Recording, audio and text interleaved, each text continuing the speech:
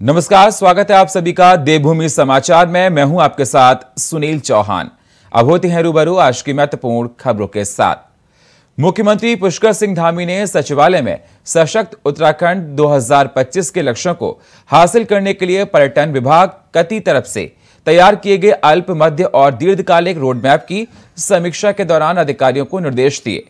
मुख्यमंत्री पुष्कर सिंह धामी ने कहा कि सरकार की तरफ़ से जो योजनाएँ चलाई जा रही हैं, इन योजनाओं का लाभ राज्य के सभी पात्र लोगों को मिले। इसके लिए ऐसा सिस्टम विकसित किया जाए, जिससे ये पता चल सके कि कौन सा परिवार किन योजनाओं का लाभ लेने का पात्र है और कितने परिवार योजनाओं का लाभ ले रहे हैं। जो जरूरतमंद लोग सरकार की कई जन कल्याणकारी योजनाओं का पूरा लाभ नहीं उठा पा रहे हैं, उनको कई संचार और प्रचार माध्यम से योजनाओं की जानकारियाँ दी जाएँ।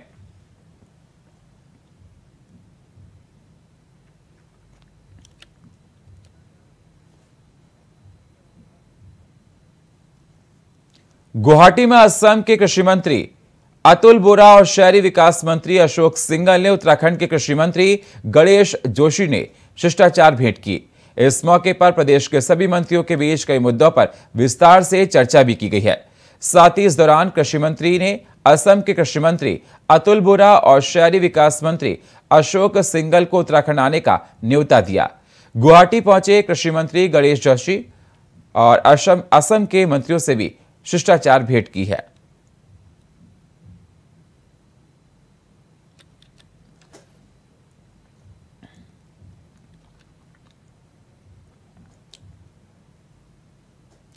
सीएम धामी के सख्त निर्देश के बाद उत्तराखंड में अवैध धार्मिक निर्माणों के खिलाफ कार्रवाई बदस्तूर जारी है। इस कड़ी में न सिर्फ़ देहरादून, उधम सिंह नगर और हरिद्वार जैसे मैदानी जिलों में बनाई गई मजारों पर कार्रवाई हो रही है तो वहीं बद्रीनाथ वन विभाग में बनी कई मजारों को भी ध्वस्त किया गया है। इस तरह अब तक राज्य में अवैध रूप से बनाई गई तीन मजारों को हटाया जा चुका है। आपको बता दें, प्रदेश में लैंड जिहाद को लेकर शिकायतें सामने आने के बाद मुख्यमंत्री पुष्कर सिंह धामी ने प्रदेश भर में अवैध धार्मिक निर्माण हटाए जाने के निर्देश दिए थे, जिसका असर राज्य भर के वन प्रभावों में दिखाई दे रहा है। न सिर्फ़ मैदानी जिलों, बल्कि पर्वतीय क्षेत्रों और तमाम बड़े धार्मिक स्थलों के आसपास भी अवैध धार्मिक निर्माण हटाए जा रहे हैं। इस कड़ी में बीते दिन बद्रीनाथ वन विभाग क्षेत्र में भी कई मजदारों को हटाने की कार्रवाई की गई। आपको जानकर हैरानी होगी कि बद्रीनाथ वन विभाग में वन भूमि पर 125 हेक्टेयर भूमि पर अवैध धार्मिक निर्माण किया गया था, जिसे हटाने की कार्रवाई की गई है। माननीय मुख्यमंत्री के निर्देशों के क्रम में वन भूमि पर हो रहे अतिक्रमण उसको हटाने के लिए जो एक मुहिम वन विभाग द्वारा चलाई जा रही है। उसके क्रम में आज महत्वपूर्ण कुछ डेवलपमेंट्स हुए हैं। इसमें बद्रीनाथ वन प्रभाग द्वारा 125 हेक्टर वन भूमि को अतिक्रमण से खाली कराया गया है। एक बहुत बड़ी उपलब्धि है जिसमें वन वन प्रभाग द्वारा पिंडर राज़ी में जो है अतिक्रमण को हटाया गया है। इसके अतिरिक्त कॉर्बेट टाइगर रिज़र्व में भी जो है आ, कुछ मज़ारों को और मंदिरों को भी जो है वहाँ पे वहाँ से हटाया गया है। कॉर्बेट टाइगर रिज़र्व में अब ये कह सकते हैं हम लोग कि ये जो धार्मिक संरचनाओं से मुक्त कर दिया गया है। अब तक तीन सौ अठासी मज़ारों को जो है वन भूमि और अन्य जो हमारी सरकारी भूमि है, वहाँ से हटाया गया है। साथ ही में इकतालीस मंदिरों को भी हटाया गया है। भारतीय वन अधिनियम के जो सुसंगत धारा है, उसके अंतर्गत प्रभागी वन अधिकारी संबंधित अतिक्रमणकारियों को नोटिस जारी करते हुए जो है अतिक्रमण हटाने की कार्रवाई जो है अमल में लाई जा रही है। डोईवाला में कैबिनेट मंत्री प्रेमचंद अग्रवाल के रिश्तेदार के घर पर पिछले साल 15 अक्टूबर को हुई डकैती के मास्टरमाइंड पर प्रशासन ने कार्रवाई की है। प्रशासन की तरफ़ से डकैती के मास्टरमाइंड महबूब अली के नई बस्ती, कुड़कावाला में बने अवैध घर पर बुलडोजर चला दिया गया है। इस दौरान तहसीलदार मोहम्मद शादाब और सीओ अनिल शर्मा भी मौके पर मौजूद रहे।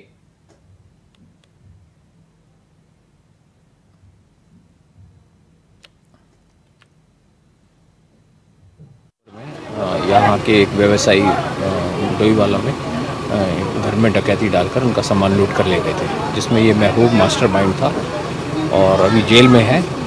इसके द्वारा यहाँ सभी इलाके में अवैध मकान बनाया हुआ था और यहाँ पर रहने वाले लोगों को धमका रहा था, जेल से भी धमका रहा था और यहाँ से भी इसको धमकी मिल रही थी लोगों को। और यहाँ पर बड़ा उसका आतंक था। और ये अवैध रूप से बनाया हुआ मकान है तो नगर पालिका और प्रशासन की मदद के लिए हम लोग यहाँ आज उपस्थित हुए हैं। भारतीय वायुसेना के विशेष विमान से सूडान में फंसे नागरिकों को दिल्ली लाया गया है। इसमें उत्तराखंड के दो निवासी अनिल कुमार और अमित कुमार भी हैं।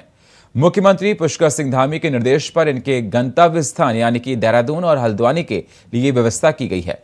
दोनों लोगों ने उत्तराखंड के मुख्यमंत्री पुष्कर सिंह धामी का आभार भी व्यक्त किया है। अब तक सूडान से उत्तराखंड के 30 नागरिक वापस आ चुके हैं।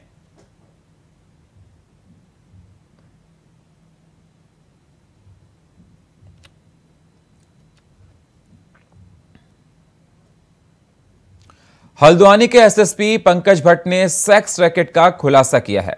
एसएसपी पंकज भट्ट ने खुलासा करते हुए बताया कि इस मामले में पुलिस ने तीन महिला और तीन पुरुष को गिरफ़्तार किया है। सभी अभियुक्तों को हल्द्वानी से गिरफ़्तार किया गया है।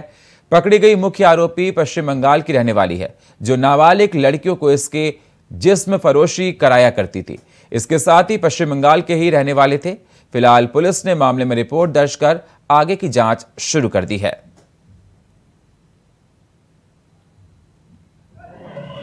इसमें 14 तारीख को वेस्ट बंगाल से एक सूचना प्राप्त हुई कि एक नाबालिग जो बच्ची है, उसको एक व्यक्ति रेलवे स्टेशन की ओर लेके जा रहा है। इस सूचना पे एंटी ह्यूमन ट्रैफिकिंग द्वारा काम किया गया। उस बच्ची को रेस्क्यू किया गया। ये जो व्यक्ति था, वो फरार हो गया। इसके बाद जो उसका हाउस था, उसमें जाकर के पुलिस द्वारा जो तलाश करने की कोशिश की गई तो उसमें इनके द्वारा कांस्टेबल से मारपीट की गई।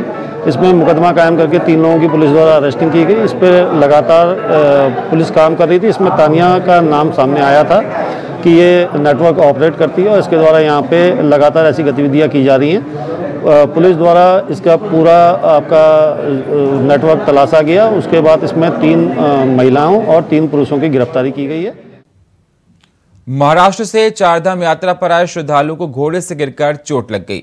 जिसे एसडीआरएफ ने रेस्क्यू कर अस्पताल पहुँचाया। आपको बता दें, संवेदनशील इलाकों में एसडीआरएफ की टीम हर पल और हर मुश्किल के लिए तैनात रहती है।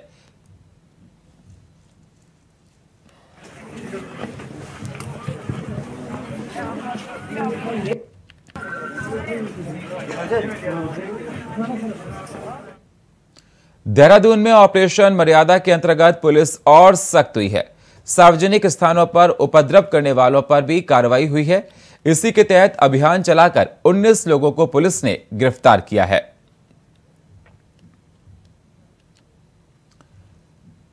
तो आपको बता दें, पुलिस ने गिरफ़्तार किया है। इसी के तहत 19 लोगों को गिरफ़्तार किया है और पुलिस का ऑपरेशन मर्यादा लगातार जारी है। सार्वजनिक स्थानों पर जो लोग उपद्रव करते हैं, पुलिस उन पर सख्त कार्रवाई कर रही है। ऑपरेशन मर्यादा देहरादून में चलाया जा रहा है और 19 लोगों पर कार्रवाई की है जो व्यवस्था को बिगाड़ने में कोई ऐसा काम करते हैं। तो पुलिस लगातार सजग है देहरादून में और ऑपरेशन मर्यादा चला रही है। जो लोग असामाजिक तत्व हैं और जो ठीक से प्रदेश में काम नहीं करते, पुलिस उनके खिलाफ एक्शन भी ले रही है।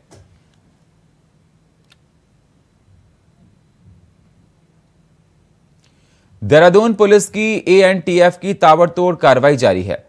नशा मुक्त देहरादून उत्तराखंड अभियान के तहत ये कार्रवाई देहरादून पुलिस कर रही है। एएनटीएफ टीम देहरादून और थाने की एएनटीएफ टीम का संयुक्त चेकिंग अभियान जारी है, जिसके तहत कोतवाली पटेल नगर और थाना क्लेम टाउन क्षेत्र के अंतर्गत हुक्का बारों की चेकिंग की गई है। स्नाइपर डॉग को साथ लेकर यह चेकिंग अभियान चलाया गया है। तो देहरादून पुलिस की एएनटीएफ की ताबड़तोड़ छापेमारी है, स्नीफर डॉग साथ में है और लगातार इन डॉग के माध्यम से पता लगाने की कोशिश की जा रही है कहाँ पर हुक्का पार्टीज़ होती हैं स्मेल के ज़रिए और तमाम क्षेत्रों में ये धरपकड़ की जा रही है हुक्का बारों की चेकिंग की जा रही है।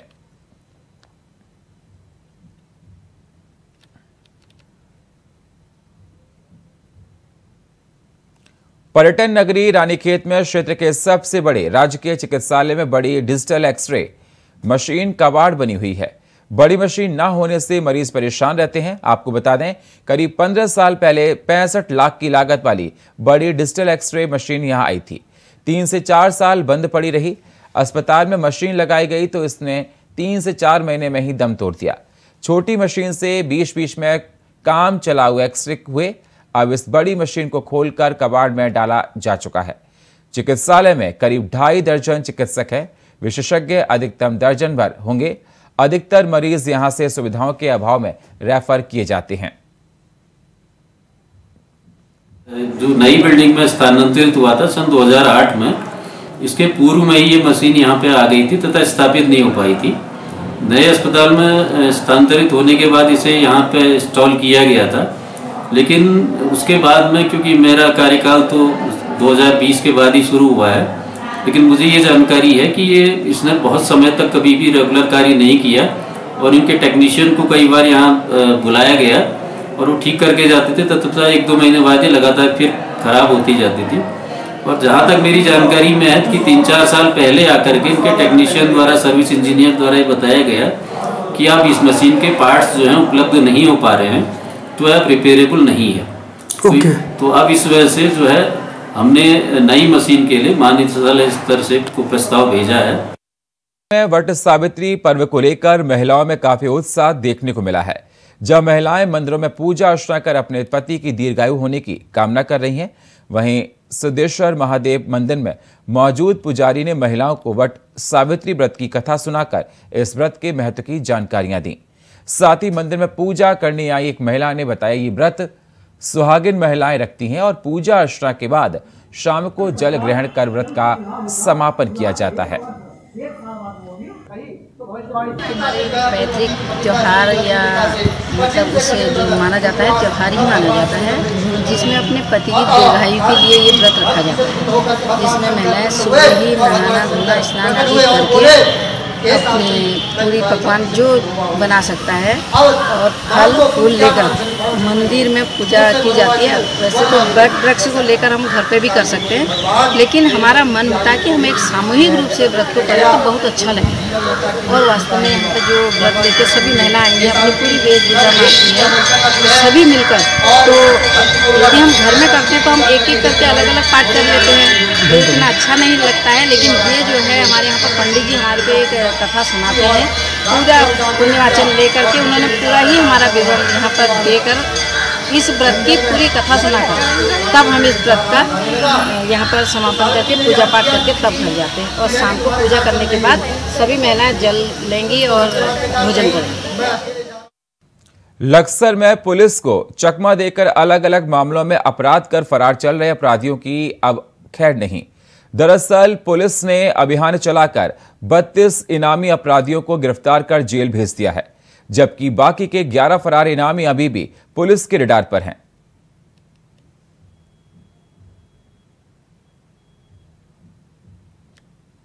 हमारे पीएचक्यू द्वारा भी अभियान चलाया गया था प्रत्येक ज़िले में, जिसमें वांछित और इनामी व्यक्तियों की गिरफ्तारी पर वो विशेष ध्यान रखते हुए चलाया गया। इसमें हमारी जो पोजीशन हमारे सर्कल की जनवरी तेईस में थी तो वो करीब चौंसठ हमारे इनामी थे जो इस अभियान के बीच में बढ़े भी उन सबको मिला के। और इसके बीचों बीच हमने अभियान के दौरान करीब तिरपन ऐसे इनामी और वांछितों की गिरफ्तारी करी, जिसमें कुछ सरेंडर भी हुए उनको स्टे भी मिला। तो अब जो हमारे सर्कल में है, कुल मिला के ग्यारह ऐसे इनामी हैं जो वांछित चल रहे हैं। इन पर भी जल्द से जल्द कार्रवाई की जाएगी। लक्सर में स्वास्थ्य विभाग की ओर से एएनएम कर्मचारियों को एच के ज़रिए चिकित्सा पोर्टल की जानकारी दी गई। इसके तहत बच्चों के टीकाकरण की तमाम जानकारियाँ ऐप पर अपलोड रहेगी। बीआरसी कार्यालय पर आयोजित कार्यक्रम की शुरुआत एसीएमओ डॉक्टर अनिल वर्मा ने की है और कहा, स्वास्थ्य संबंधी किसी प्रकार की जानकारी से हमेशा अपडेट रहना चाहिए, ताकि अधिकारियों को उसकी जानकारी देने में दिक्कतें न आएँ।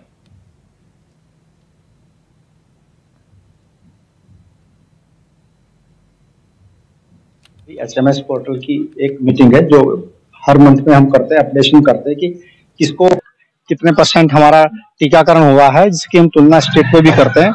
और उसके साथ साथ जहाँ हमारा वीक इंजेक्शन हुआ है, उसकी भी हम चर्चा करेंगे। और हर जिस बच्चे का स्टेटस हमारा पोर्टल पे दिखना चाहिए तो उसके बारे में हम सब लोगों को बुला के सब लोगों को एक बार फिर एक्सपर्ट किया तो जो टीके लगाए जाते हैं एएनसी का रजिस्ट्रेशन किया जाता है, उसका दो पोर्टल है एच और आरसीएस पोर्टल। उसके अंतर्गत जो हमारी नई एनएम की भर्ती हुई सत्रह मार्च के अंतर्गत तो उसमें थोड़ा इश्यू आ रहा था कि थोड़ा पेंडेंसी बढ़ रही थी और डिफरेंस आ रहा दोनों पोर्टलों में। तो उसी चीज़ को हमने उनके ट्रेनिंग के लिए उसमें डिस्ट्रिक्ट की टीम आई है, जिसके अंतर्गत दोनों का चीज़ का डिफरेंस पाए और सही तरीके से गुणवत्ता पूर्वक हमें डाटा मिले और लोगों को उसका लाभ। बड़कोट में एक लड़की को वाहन ने टक्कर मार दी। पुरोला मुख्य बाज़ार में सड़क किनारे हुआ यह हादसा पेश देखने को मिला। हादसे की पूरी तस्वीर सीसीटीवी कैमरे में कैद हो गई। बताया जा रहा है कि लड़की के सिर पर गंभीर चोटें आई हैं, जिसे प्राथमिक उपचार के बाद हायर सेंटर रेफर कर दिया गया है। तो आप देख सकते हैं तस्वीरों में बटकोट से रागीर को वाहन ने टक्कर मारी है, जिसको गंभीर रूप से चोटें आई हैं। आप तस्वीरों देख सकते हैं, ये सीसीटीवी वीडियो हम आपको दिखा रहे हैं और किस प्रकार से इस लड़की को चोट मार लगी है और इसको और दूसरे अस्पताल में रेफर कर दिया है और इसकी इलाज लगातार किया जा रहा है।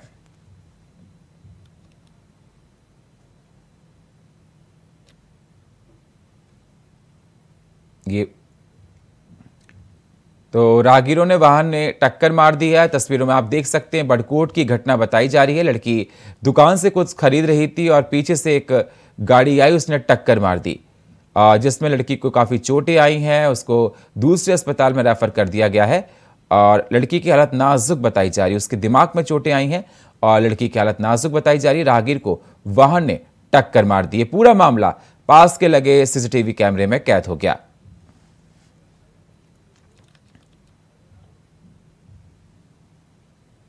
कैबिनेट मंत्री चंदन रामदास के निधन के बाद बागेश्वर विधानसभा सीट पर आने वाले समय में उपचुनाव होगा, जिसको लेकर बीजेपी कांग्रेस युद्ध पर रणनीति अख्तियार कर रही है। माना जा रहा है कि नाम पर सस्पेंस के बाद तल छटने के में समय लगेगा, मगर बयानबाजी का दौर दोनों पार्टियों में तेज हो गया है। कांग्रेस उपचुनाव को जीतकर विधायकों की संख्या 20 करना चाहती है। वहीं बीजेपी के लिए उपचुनाव सीधे साख से जुड़ा हुआ है। ये रिपोर्ट देखिए आप।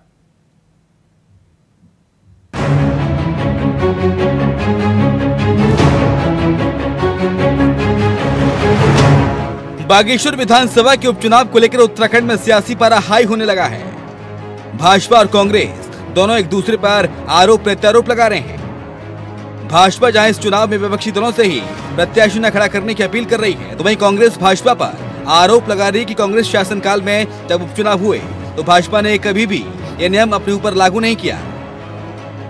चुनाव जीतने का भारतीय जनता पार्टी अपना क्रम तैयार किया है और अच्छा होगा। मैं तो सभी राजनीतिक दलों से अपील भी करूँगा कि बड़ी हार के लिए उनका कोई प्रत्याशी तैयार होने वाला भी नहीं है और हम बागेश्वर चुनाव, भारतीय जनता पार्टी कोई लड़ गया तो प्रचंड बहुमत से जीतेगा।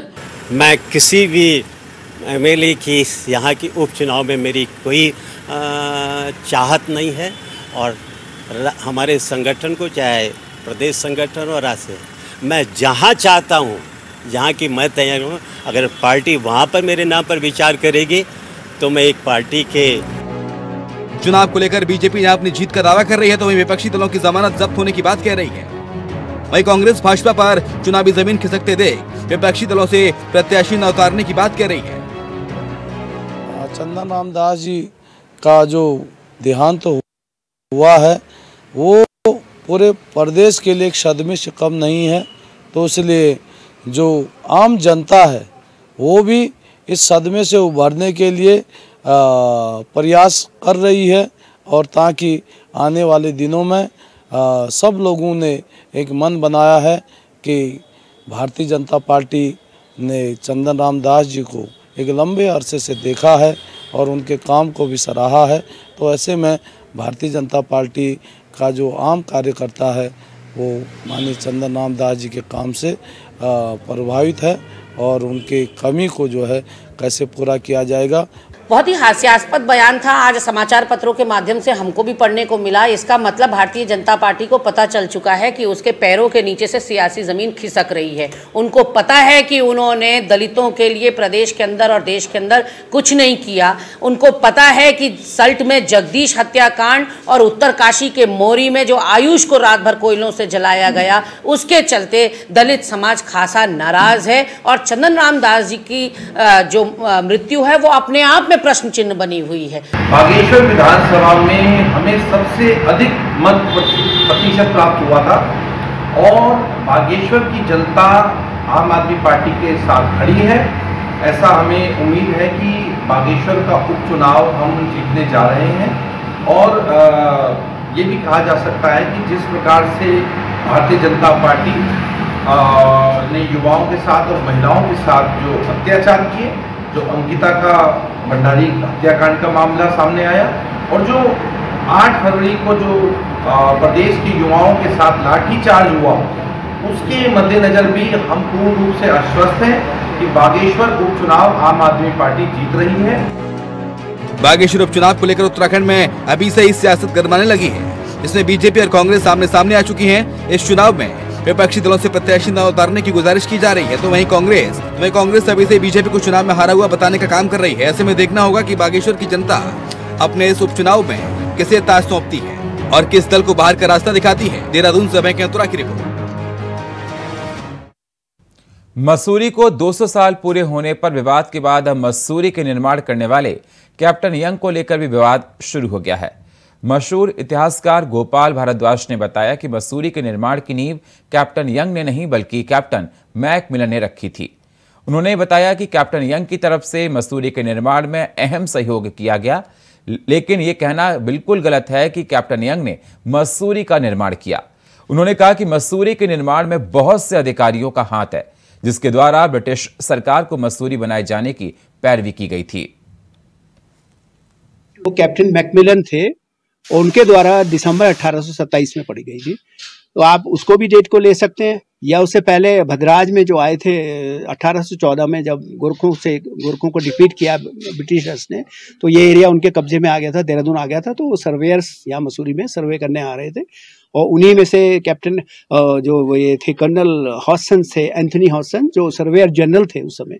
1817 में सर्वेयर जनरल बने जॉर्ज एवरेस्ट से। वो वहाँ पर आए थे, उन्होंने अपना नाम वहाँ पे लिखा और एक जॉइंट मजिस्ट्रेट थे तत्कालीन सहारनपुर के, उनका वहाँ पे नाम है बोल्डेरो और एक गार्डनर थे एंग्लो इंडियन ब्रिटिश फौज में थे, वो उनका वहाँ पे नाम है। इसके अलावा वहाँ उर्दू में कुछ इंस्क्रिप्शन है, वो तो उनके नाम वहाँ पे है। तो इससे, आप कह सकते हैं कि मसूरी में 1814 में अंग्रेज़ आए थे, उनके नाम अंकित है वहाँ पे। इंस्क्राइब्ड है हिल्स के ऊपर और देवर सर, बड़े ग्रेट लोग थे, ऐसा नहीं था कि कोई लेमैन था। और जैसा मैंने आपको बताया कि 1814 के बाद जब ये एरिया देहरादून वैली और मसूरी और ये एरिया ब्रिटिशर्स के उसमें ऑक्यूपेशन में आ गया, उनके राज्य के अंदर आ गया तो वो लोग सर्वे भी कर रहे थे और वो मसूरी आया करते थे। मसूरी उस समय नाम नहीं दिया गया था, लेकिन मसूरी की नॉर्थ की जो पहाड़ियाँ थी देहरादून को, वो पिकनिक मनाने या हंटिंग करने, शिकार करने यहाँ आते थे। वेरियस कई लोग आते थे। और फ़िलहाल देवभूमि समाचार में इतना ही। बाकी खबरों के लिए आप बने रहिए इंडिया वॉइस के साथ। तब तक के लिए नमस्कार।